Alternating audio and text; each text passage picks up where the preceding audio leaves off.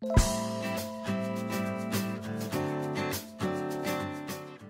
าแล้วรวมหวยลุ้นรวยส่งท้าย ทูบตะเคียนเฮียนขนลุกคำชะโนด งูเข้ารถและเลขคนดัง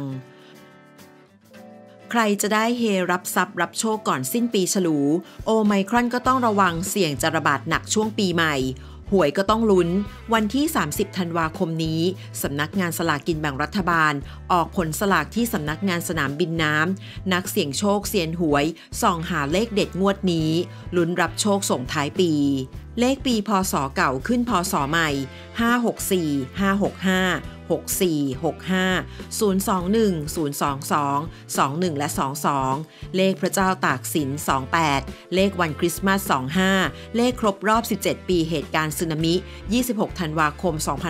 2547เลขแม่น้ำหนึ่ง23 20 231เลขคำชะโนด8716เเลขที่ขายดีคือเลข 64 65 59 เลขทูบมงคลเจ้าแม่ตะเคียนทองวัดภูตะเภาทอง ส่องจนขนลุก จุดครั้งแรกไม่มีเลขปรากฏ ต้องจุดอีกครั้ง เลขถึงจะปรากฏ ได้แก่หมายเลข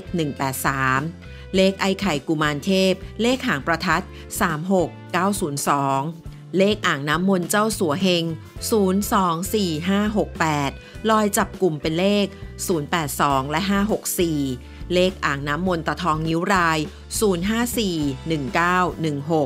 สำหรับหวยคนดัง เลขมดดำคชาพาล้วงไหวัดดัง 8 ริ้ว ได้เลข 497 เลขมนสิทธิ์คำสร้อย งวดนี้ชอบเลข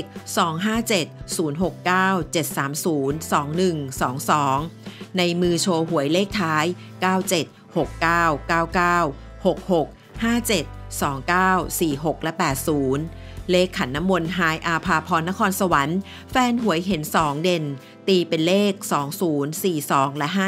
512 สำหรับเลขตุกดวงตา เพิ่งถอยรถหรูป้ายแดงทะเบียน 6699 อย่างไรก็ตามโปรดใช้วิจารณญาณในการรับชมด้วยนะคะ ขอขอบคุณข้อมูลจากข่าวสด